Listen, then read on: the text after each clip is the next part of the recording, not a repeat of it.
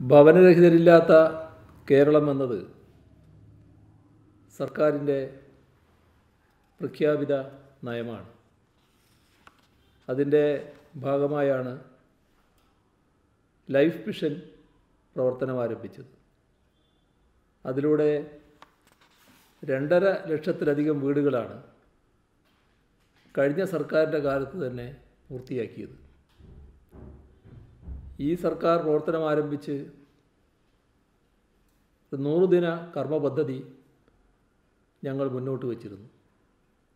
അതിൽ പതിനായിരം വീട് ഇതിന്റെ ഭാഗമായി നിർമ്മിച്ച് നൽകാൻ കഴിയുമെന്നാണ് പ്രഖ്യാപിച്ചത്. എന്നാൽ പന്ത്രണ്ടായിരത്തി അറുപത്തിയേഴ് വീടുകളാണ് നിർമ്മിക്കാനായത്. നമ്മുടെ നാട്ടിൽ വീടുകൾ വേണ്ടവർ സ്വന്തം വീടില്ലാത്തവർ നിരവധിയാണ്. അതിൽ അർഹരായവർക്കെല്ലാം സ്വന്തമായി വീടുണ്ടാകണം എന്ന് തന്നെയാണ് സർക്കാർ കാണുന്നത്.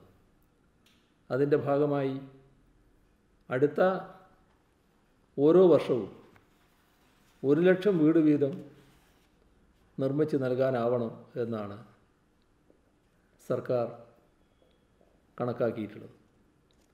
അതിന്റെ പ്രവർത്തനങ്ങൾ നീങ്ങിക്കൊണ്ടിരിക്കുകയാണ് ഇവിടെ ഒരു പുതിയ കേരളം നിർമ്മിക്കാനാണ് നാം ലക്ഷ്യമിടുന്നത്. കേരളത്തിന്റെ പുനർനിർമ്മാണം എന്നത് സർക്കാർ മാത്രം പങ്കുവഹിച്ചുകൊണ്ട് പൂർത്തിയാക്കേണ്ട ഒന്നല്ല. അത് പൊതുജനങ്ങളുടെയും സന്നദ്ധ സംഘടനകളുടെയും സഹകരണത്തോടെ പിന്തുണയോടെ നടപ്പാക്കാനാവുന്നതാണ്. അവരിൽ നിന്ന് ലഭിക്കുന്ന ആശയങ്ങൾ വിഭവങ്ങൾ എല്ലാം കേരള പുനർനിർമ്മാണത്തിനായി പ്രയോജനപ്പെടുത്തുന്നുണ്ട്. ഈയൊരു പശ്ചാത്തലത്തിലാണ് ആലപ്പുഴയിലെ അമ്പലപ്പുഴക്ക് സമീപമുള്ള ആമയുടെ കോളനിയിലെ അന്തേവാസികൾക്ക് അറുപത്തഞ്ച് വീടുകൾ നിർമ്മിച്ച് നൽകാമെന്ന് ശ്രീ സത്യസായി ട്രസ്റ്റ് സർക്കാരിനെ അറിയിച്ചത്. പതിനാല് വീടുകളുടെ നിർമ്മാണം ഇതിനോടകം പൂർത്തിയാക്കി. ഗുണഭോക്താക്കൾക്ക് കൈമാറിയിട്ടുണ്ട്. ശേഷിക്കുന്ന അൻപത്തൊന്ന് വീടുകളിൽ നാൽപ്പത്തി അഞ്ചെണ്ണത്തിന്റെ താക്കോൽ കൈമാറ്റമാണ് ഇന്ന് നടക്കുന്നത്. അവയെ നിർമ്മിച്ചിരിക്കുന്നത് ദുരന്തങ്ങളെ അതിജീവിക്കാനുള്ള ശേഷി ഉറപ്പുവരുത്തിക്കൊണ്ടാണ്. ഇന്ന് കൈമാറ്റം ചെയ്യപ്പെടുന്ന നാൽപ്പത്തഞ്ച് വീടുകൾ പ്രളയ ഭീഷണിയെ നേരിടാൻ ഉതകും വിധം അഞ്ചടി ഉയരത്തിലുള്ള തൂണുകളിലാണ് നിർമ്മിച്ചിരിക്കുന്നത്. ഇത്തരത്തിലുള്ള നിരവധി സാമൂഹ്യ സേവന പ്രവർത്തനങ്ങൾ. ശ്രീ സത്യസായി ട്രസ്റ്റ് ഏറ്റെടുക്കുന്നുവെന്നത് സന്തോഷകരമായ കാര്യമാണ്. നിർദ്ധനരായ രോഗികൾക്ക് സൗജന്യ ചികിത്സ ശസ്ത്രക്രിയ അതോടൊപ്പം അവർക്ക് മാനസികമായ പിന്തുണ നൽകുക. ഇതെല്ലാം ട്രസ്റ്റ് ചെയ്തുകൊണ്ടിരിക്കുന്ന കാര്യങ്ങളാണ്. വിദ്യാഭ്യാസ രംഗത്ത് വിദ്യാർത്ഥികൾക്ക് സാമ്പത്തികവും സാമൂഹികവുമായ ക്ഷേമം ഉറപ്പുവരുത്തുന്നതിനും ഇടപെടുന്നു ട്രസ്റ്റ്. ഇവയെല്ലാം തന്നെ മാതൃകാപരമായ പ്രവർത്തനങ്ങളാണ്. മാധവ മാധവസേവ എന്നത് മാനവസേവ എന്നത് തന്നെയാണ് എന്ന് നിങ്ങൾ പറയാറുണ്ടല്ലോ.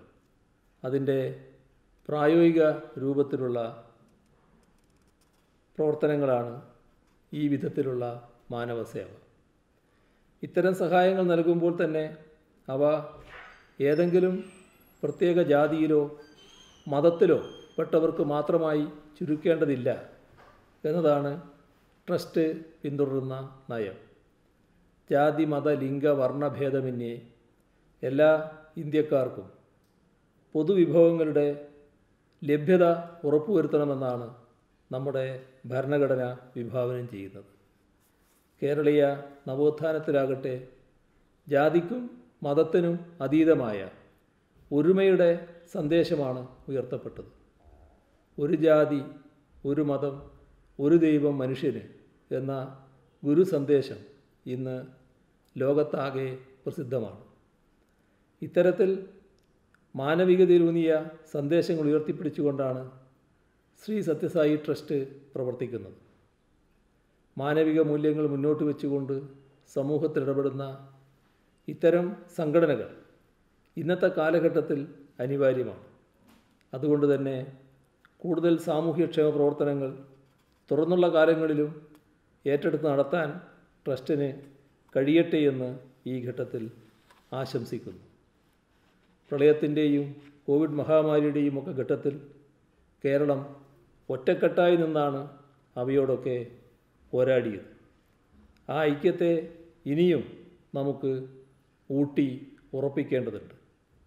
ദുരന്തഘട്ടങ്ങൾ എന്ന പോലെ തന്നെ എല്ലായ്പ്പോഴും ഏകോദര സഹോദരങ്ങളെപ്പോലെ നാം നീങ്ങേണ്ടതുണ്ട്. അതിന് സർക്കാരും രാഷ്ട്രീയ സന്നദ്ധ സംഘടനകളും എല്ലാം കൈകോർക്കേണ്ടതുണ്ട്. അത്തരത്തിലുള്ള ഒരു മാതൃകയാണ് ഇന്ന് ശ്രീ സത്യസായി ട്രസ്റ്റ് മുന്നോട്ട് വെക്കുന്നത്. ഈ നാൽപ്പത്തഞ്ച് വീടുകളുടെ താക്കോൽ കൈമാറ്റം വളരെ സന്തോഷത്തോടെ നിർവഹിച്ചതായി അറിയിച്ചുകൊണ്ട് അവസാനിപ്പിക്കുന്നു. നിങ്ങൾക്കെല്ലാം സ്നേഹാഭിവാദനങ്ങൾ.